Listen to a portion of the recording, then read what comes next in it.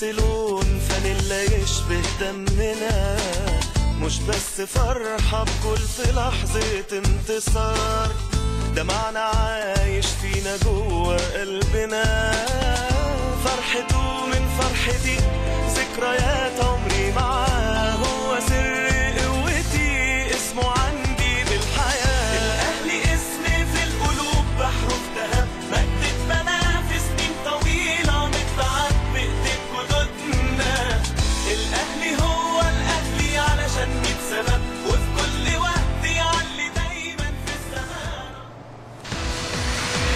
أهلا بكم مجددا وإلى التفاصيل. أجرى الكابتن محمود الخطيب رئيس النادي الأهلي عملية جراحيه اليوم بألمانيا في العمود الفقري للتخلص من آلام الظهر التي عانى منها مؤخرا على أن يغادر المستشفى خلال 48 ساعة.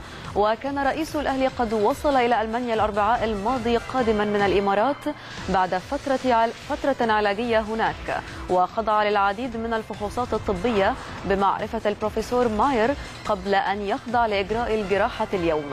ومن جانبه أكد العمري فاروق نائب رئيس النادي أن حالة الكابتن الخطيب مطمئنة للغاية وأن الطبيب الألماني سوف يحدد برنامجه العلاجي. وللاطمئنان على حالة الكابتن الخطيب ينضم إلينا عبر الهاتف. المستشار الإعلامي للنادي الأهلي الأستاذ شريف فؤاد. أستاذ شريف أهلا بيك. أهلا بك يا إيه تحياتي لك ولكل مشاهديك الكرام وقناه النادي الاهلي أهلا بيك يا فندم. عايزين نطمن الجماهير المصرية على الحالة الصحية للكابتن الخطيب بعد العملية اللي أجراها اليوم. الحمد لله هو يعني في أحسن حالاته بفضل الله واستفاق وخرج من غرفة الافاقه العملية ما خدتش وقت كتير لأن هي اجريت بتقنيه جديدة بالميكروسكوب وأجراها طبعا الدكتور ماير اللي هو واحد من أكبر المتخصصين في هذا المجال في العالم. إن شاء الله نتمنى إنه الانزلاق الغضروفي والضغط على العصب اللي كان في الظهر اللي بيسبب آلام في القدم يكون زال بعد هذه الجراحة. المفترض إن الكابتن إن شاء الله سيقضي يعني فترة راحة سلبية.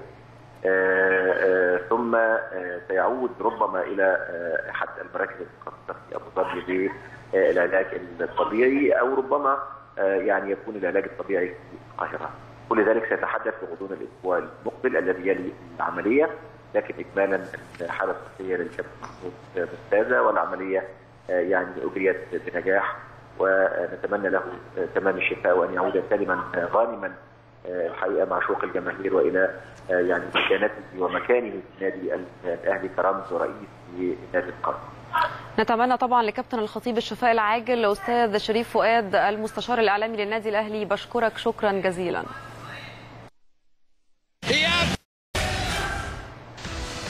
قال السيد عبد الحفيظ مدير الكرة بالأهلي أن الاتحاد الإفريقي لكرة القدم كاف أرسل خطابات لجميع الأندية التي وصلت لدور المجموعات بدور الأبطال يخطرها فيه بالأيام المتاحة أمامها للمفاضلة بينها هو اختيار إحداها لإقامة المباريات.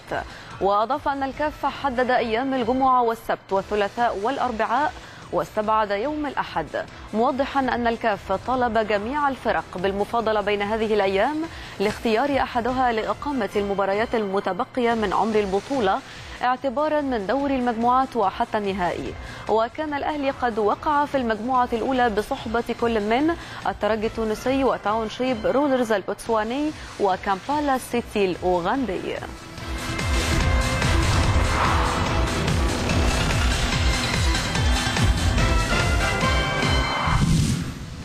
وما زلنا مع دوري أبطال إفريقيا حيث قال السيد عبد الحفيظ إن الكاف أخطر الأهلي بموعد مبدئي لمباراتيه أمام ترجي وكامبالا سيتي في الجولتين الأولى والثانية من دوري المجموعات لدوري أبطال إفريقيا. على أن يتم تأكيد الموعدين خلال أسبوع من الآن. وأضاف أن الكاف حدد الرابع من مايو المقبل موعدا لمباراة الأهلي مع الترجي التونسي في الجولة الأولى على أن يحل الأهلي ضيفا على كامبالا سيتي يوم الخامس عشر من الشهر ذاته في الجولة الثانية. وأوضح عبد الحفيظ أن الكاف أخطر أيضا جميع الأندية التي وصلت إلى دور المجموعات على أن تقام جميع المباريات إما في الساعة الثالثة أو السادسة أو التاسعة بتوقيتات الدول التي تستضيف المباراة.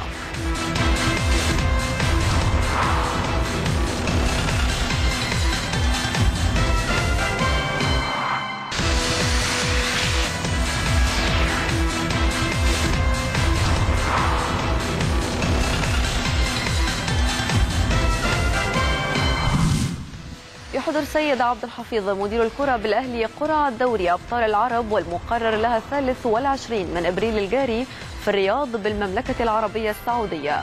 وتلقى الأهلي خطابا من الاتحاد العربي يطلب فيه تحديد اسم مندوب الأهلي المرشح لحضور القرعة واستقر الأمر على اختيار السيد عبد الحفيظ لحضورها.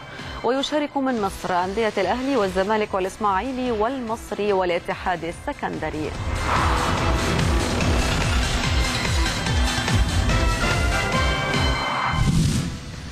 أجرى الدكتور خالد محمود طبيب الفريق الأول لكرة القدم بالنادي الأهلي اتصالا هاتفيا مع رامي ربيعة مدافع الفريق للاطمئنان عليه خلال رحلة علاجية في ألمانيا. وأضاف أن اللاعب يواصل برنامجه التأهيلي ويجري جلسات علاج طبيعي على أن يتم حقنه يوم الخميس المقبل بحقنة بلازما للتعافي نهائيا من الإصابة.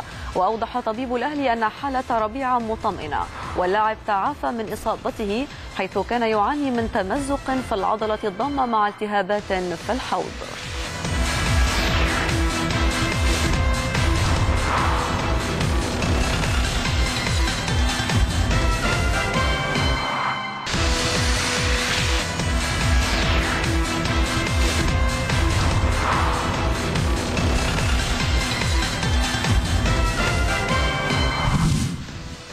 أوضح عمرو السولية لاعب وسط الأهلي أن ثقة الكابتن حسام البدري المدير الفني للفريق تدفعه للتألق ويسعد كثيرا بها. كما أن دعم الجمهور ورد فعله الإيجابي يعد حافزا قويا أمامه للتطوير دائما من مستواه. وقال السولية إنه يتمنى في الفترة المقبلة الانضمام لمنتخب مصر حتى يحظى بشرف المشاركة في نهائيات كأس العالم بروسيا. مؤكدا على احترامه وتقديره لاختيارات الأرجنتيني هيكتور كوبر المدير الفني للمنتخب. ويتمنى التوفيق للفريق في المرحلة القادمة. لكنه في نفس الوقت متمسك بهذا الأمل حتى يتحقق الحلم الذي يراوده منذ الصغر باللعب في كأس العالم. واختتم السولية تصريحاته بالتأكيد على سعيه هذا الموسم للفوز مع الأهلي بدوري الأبطال من أجل المشاركة في نهائيات كأس العالم للأندية وتحقيق طموحات جماهير الأهلي.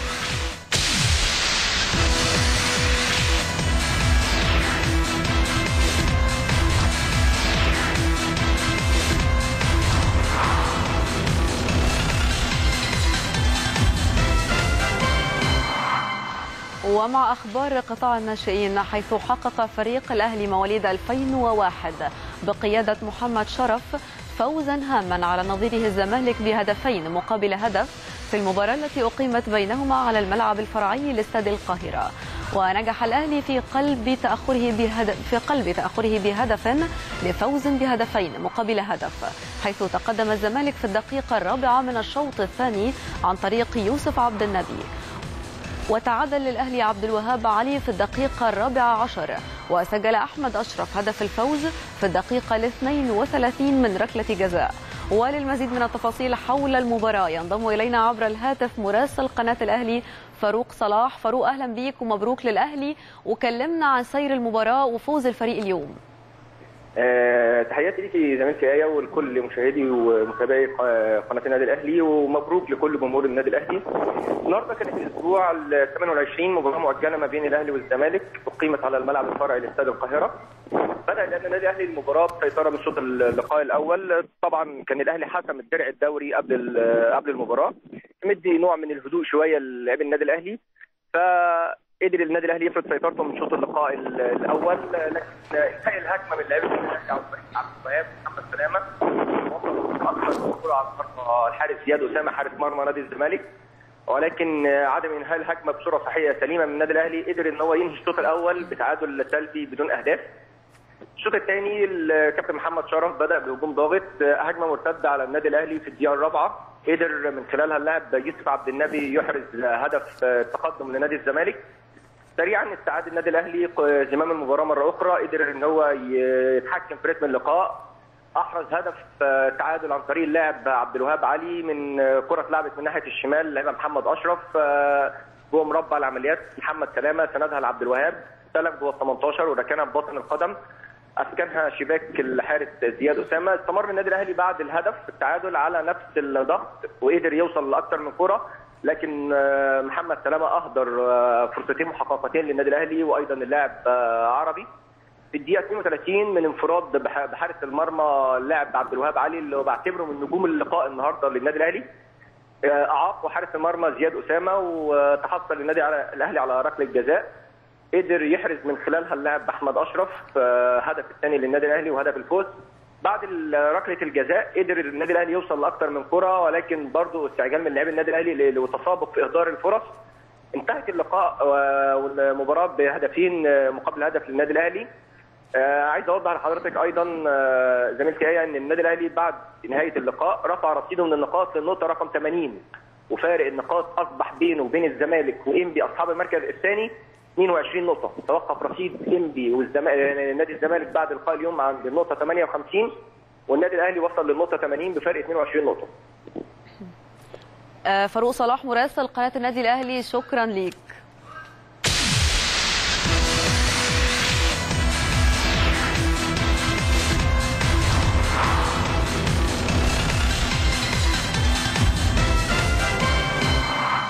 ومع الأخبار المحلية حيث أكد عامر حسين رئيس لجنة المسابقات باتحاد الكرة أن مسابقة الدوري الممتاز سيتم الانتهاء منها يوم الثاني والعشرين من مايو المقبل.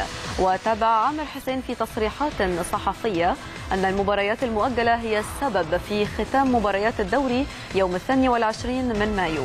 مشددا على أن موعد انتهاء مسابقة كأس مصر سيكون أحد يومي التاسع عشر أو العشرين من مايو.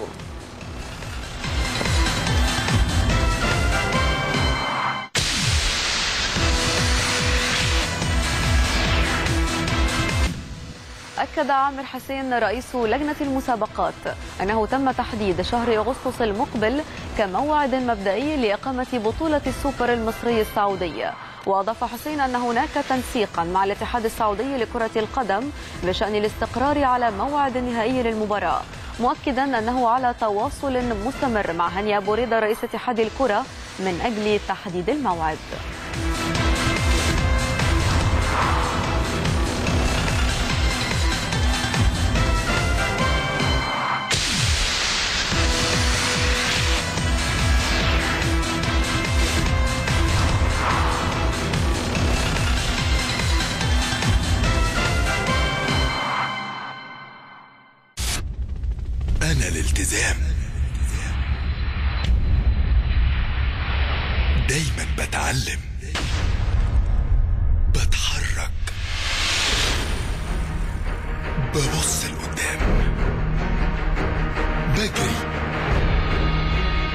مش بس عشان حياتي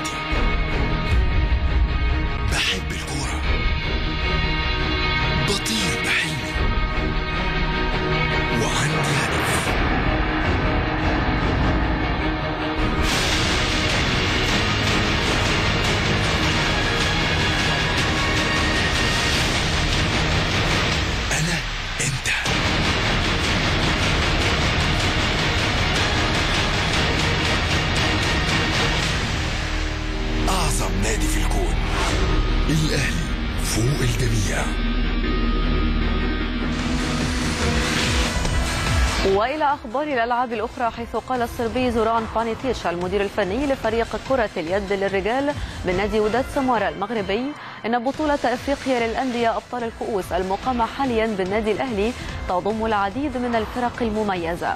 وأشار المدير الفني الصربي إلى أنه لم يسبق له زيارة مصر من قبل. ويتمنى مشاهدة الكثير من الأماكن الرائعة التي سمع عنها داخل مصر. كما أشار إلى أنه يعرف الأهلي جيدا مؤكدا أن الفريق يضم مجموعة مميزة من اللاعبين. وعن فرص الفريق المغربي في البطولة قال زوران أن فريقه يضم أربعة لاعبين تحت عشرين عاما ومثل هذه المباريات والبطولات تحتاج إلى عناصر خبرة. ولكن بشكل عام هو راض عن اللاعبين وعن الأداء خاصة أن الفريق خسر المباراة الأولى بفارق هدف أمام فونكس الجابوني وحقق الفوز على كيمباتا في ثاني مبارياته.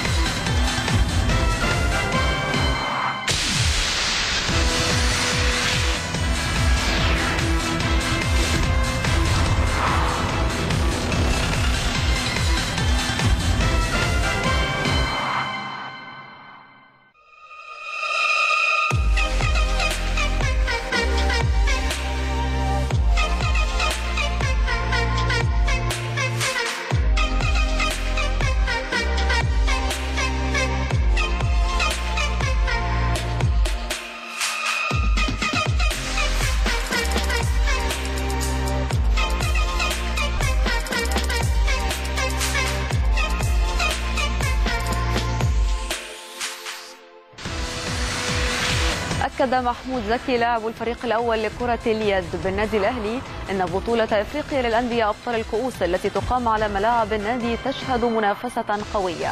حيث تتطلع جميع الفرق لتحقيق الفوز ولكن تبقى دوافع اللاعبين وخبراتهم حاسمة بشكل كبير خلال المباريات.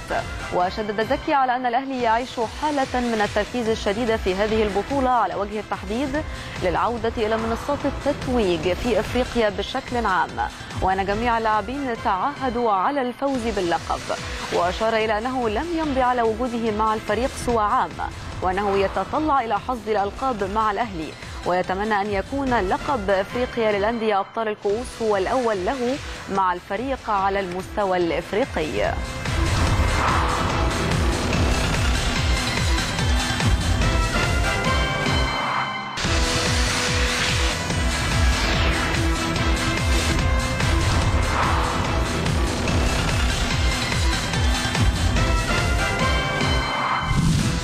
والآن فاصل قصير ونستأنف نشرتنا الرياضية. ابقوا معنا.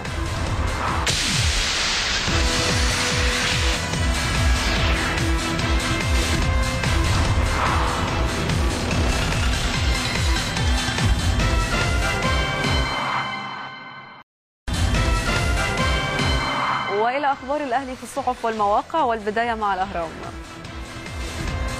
الخطيب يجري جراحة العمود الفقري.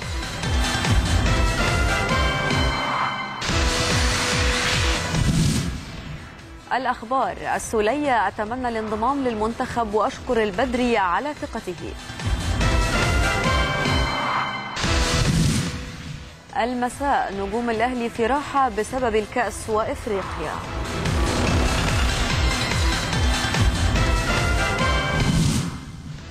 الوفد الأهلي يعسكر لدجلة اليوم.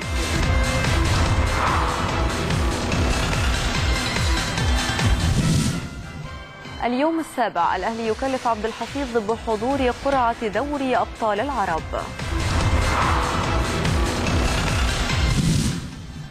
الوطن سبورت كاف للأهلي ثلاثة أيام فقط لمباريات دوري الأبطال.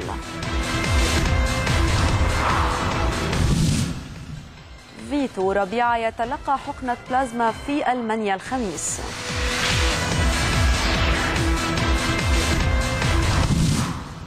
الدستور. الأهلي يدعو الأمن إلى نقل مباراة الترجي لاستاد القاهرة.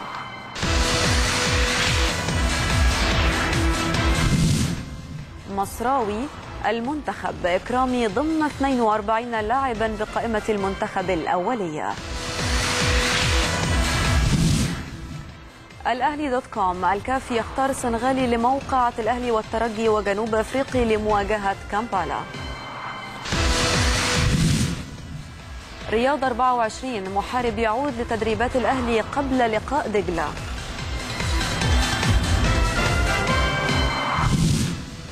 في الجول طبيب الأهلي ربيعة يتعافى نهائيا الخميس المقبل.